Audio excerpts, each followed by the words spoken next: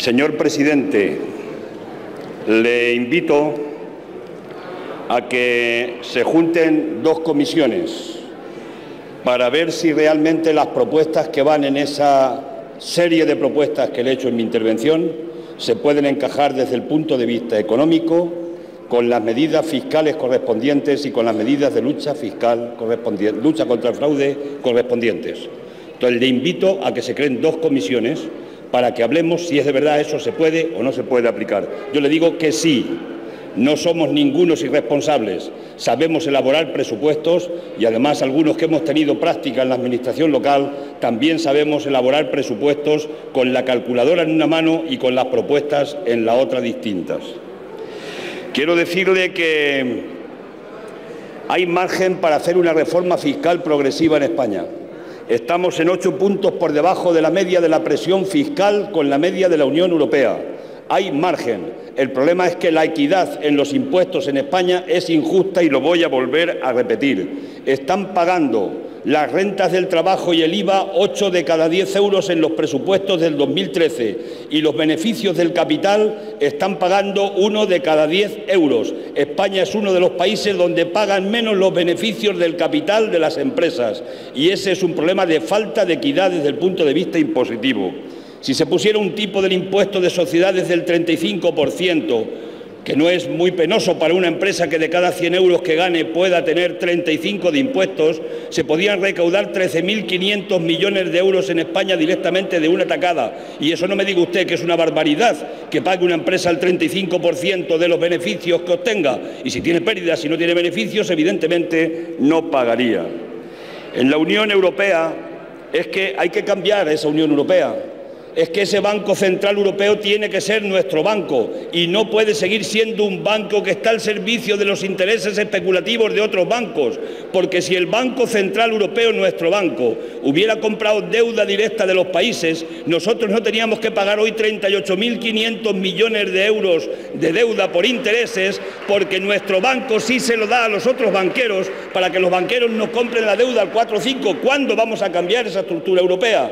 Pero yo quiero escuchar su voz allí diciendo que hay que cambiarla. Yo sé que usted solo no la puede cambiar. Yo sé que estamos 27 países, pero que se escuchen esas voces, que no se venga aplaudiendo a Draghi, al Super Draghi que viene aquí a sentar cátedra. Si Super Draghi está al servicio de los intereses especulativos bancarios y no está elegido democráticamente, diga usted eso en el Parlamento Europeo, digo en la Unión Europea, en la reunión del Consejo. Eso es lo que yo le estoy reclamando en este momento.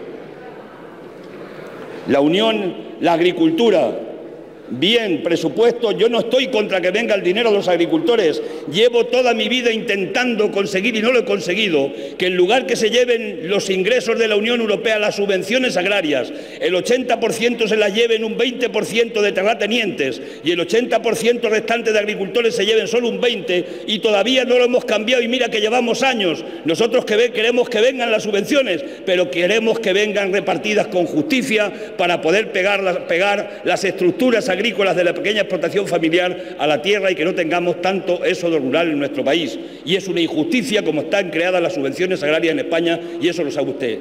La duquesa de Alba recibe más subvenciones que nadie en este país y la duquesa de Alba es la que menos subvenciones necesita de tener porque la subvención se entiende que se le da a la gente que la necesita para caminar y no a la gente que le sobran recursos y que le sobran dinero y fincas y propiedades.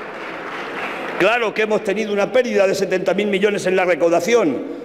Ha estallado la burbuja, se han cerrado empresas, hemos perdido empleo, ha habido menos ingresos. Pero no me niegue usted que no es menos cierto que ustedes del Partido Popular, Partido Socialista y Convergencia y Unión durante los últimos años, con el gobierno de Aznar también, han ido bajando más los impuestos a los más ricos, incorporaron la SICAP, han bajado el impuesto de sociedades, han bonificado a las grandes empresas de una manera escandalosa. Se cargó también el impuesto de patrimonio a las grandes fortunas y después se sustituyó por un impuesto pequeño.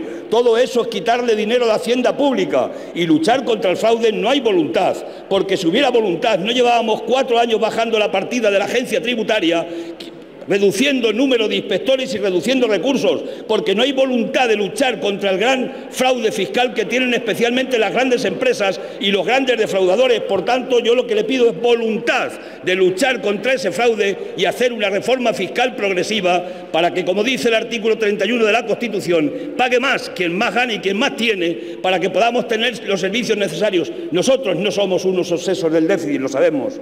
Y cuando le estamos diciendo que defienda en Europa, que el Banco Central Europeo, los 300.000 millones de euros, un 30% del Producto Interior Bruto, que le tiene dado a los bancos españoles, lo oriente al Gobierno cada año para cubrir nuestro déficit, nos quedamos con las manos limpias para negociar la deuda que tenemos y especialmente la deuda que tenemos que no es legítima y los intereses con esos del mercado financiero porque sería la manera de quitarnos de alguna forma también los 38.000 millones de euros que sabemos lo que es, que es más que lo que gasta el Estado en la partida de todas las fuerzas de seguridad y la estructura del Gobierno central, lo sabemos lo que es, pero eso lo tenemos porque nuestro banco no ha sido nuestro banco, ha sido el banco de los especuladores. Eso es lo que le estamos pidiendo, señor Rajoy. No le estamos pidiendo milagros, le estamos pidiendo que se cambie el curso de las propuestas y de los acontecimientos.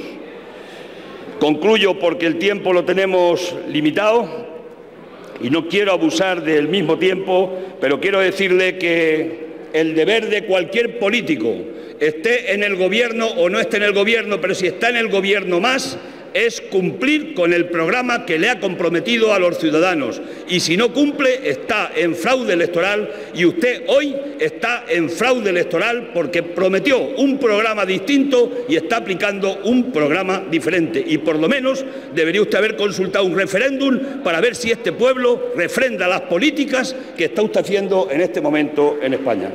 Muchas gracias. Gracias, señor Lara.